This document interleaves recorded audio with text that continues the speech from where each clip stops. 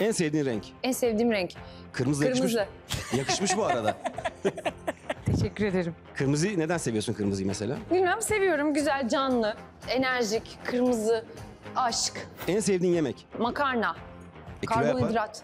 Seviyorum. Spordan önce iyi gidiyor. En beğendiğin yurt dışı şehir? Mm, mm, mm, mm. Viyana. Neden? Mozart, sanat. Çok- Bilmiyorum. Şu anda çok medeni. Aa, sanat kokuyor her yeri. En sevdiğiniz spor? Çok var. Dur bir dakika. Tenis. Oynuyor evet musun? tenis. Oynuyorum. İzlemeyi de severim. İyi servis atar mısın? Yani bir Şarapova değilim tabii ama. e, ama fena değilim. Şerpova'nın bağırışları meşhurdur biliyorsun. Evet. Ha! Ha! diye böyle kendinden geçiyor. Bayılıyorum o kadına. Peki bir dönem böyle bir dans videoların çok popüler olmuştu. Evet. Seviyorum dans etmeyi. Ne tip danslar mesela? Yani her tür dans seviyorum. Modern, Latin, R&B. Hepsini seviyorum. Yok yetenek var canım dansa onu bir gördük. Tıklanma rekorları kırıyor danslar. O kadar. Aynen. Aa. Hiç haberim yok. You can dream of Coco. Do it at your risk. Çocukluk kahramanın kimdi? ya Bugs Bunny'yi çok severdim o anlamda soruyorsan. Tweety, Sylvester hastasıyım. Hala izliyor musun? Hala izliyorum. Öyle mutlu hissettiriyor değil mi insanı? Çok, çok iyi hissettiriyor. Umut vaat ediyor. Peki bir süper gücün olsa ne olmasını isterdin? Görünmez. Ne yapacaktın görmez olup? Mesela insanları izlemek istiyorum.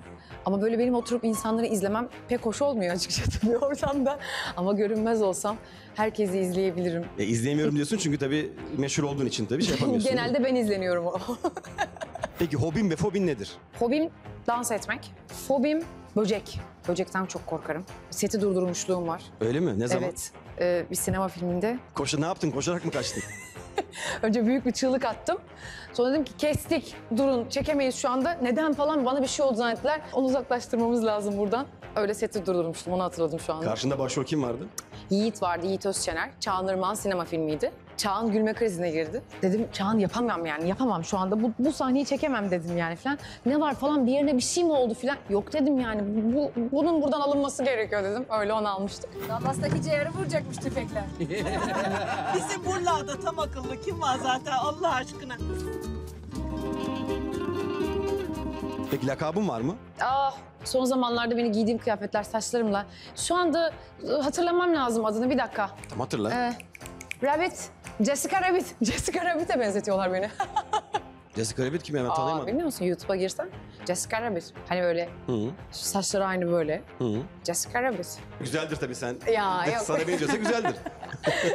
Yani çizgi film kahramanı zaten de. ha okey. Peki lüks sever misin? Ama nasıl bir lüksten bahsediyorsun? Şimdi yakın zamanda çok lüks bir ev aldın mesela. Döndü dolaştı buraya geldiğini. Nereden biliyorsun lüks olduğunu? Bizim fakirhane. E, 35 milyon TL diyor o yüzden.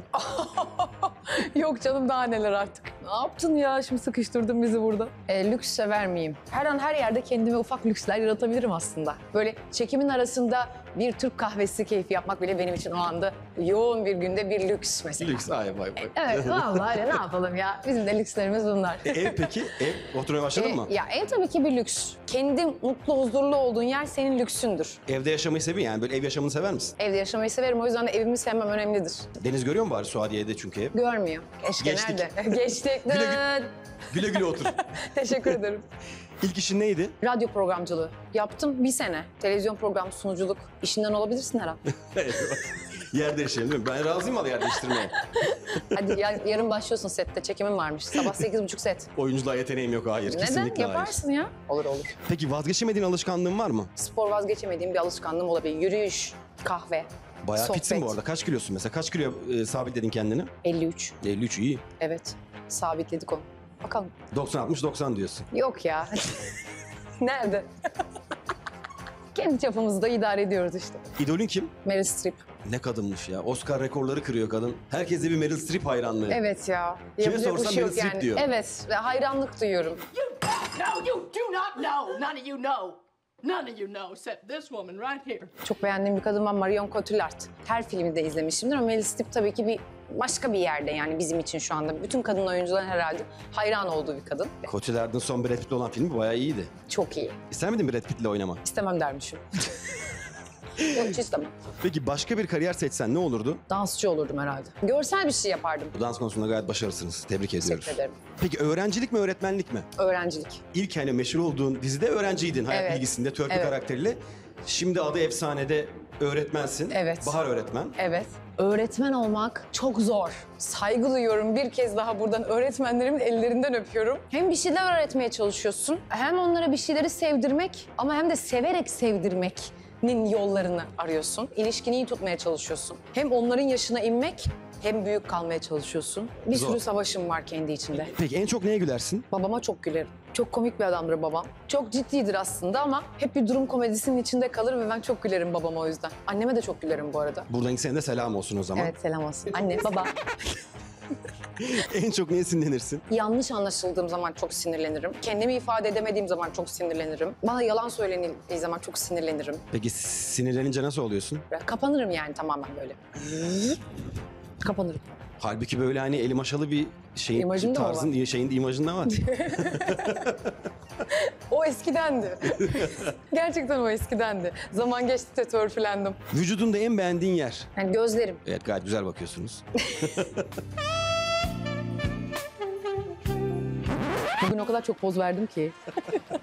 Bayağı provalıyım bu arada. Hmm. Peki vücudunuzda en beğenmediğiniz yer? Ha, çok zor dermişim. O özgüven tamam. Yok Ama ya. illa kadınların beğenmediği Tabii bir ki canım vardır. var. Bir sürü var yani. Biz kadınlar kendileriyle dertliyiz yani. Oram buram şuran var. Yani genel olarak kendimde barışık biriyim. Öyle çok beğendiğim, beğenmediğim bir yerim yok. Kendimce tabii ki dert ettiğim şeylerim var ama çok da önemli değil. Kendimle barışık biriyim. Estetiğe falan karşı mısın? Her kadının kendini öncelikle güzel hissetmesi taraftarıyım. O yüzden hiç karşı değilim.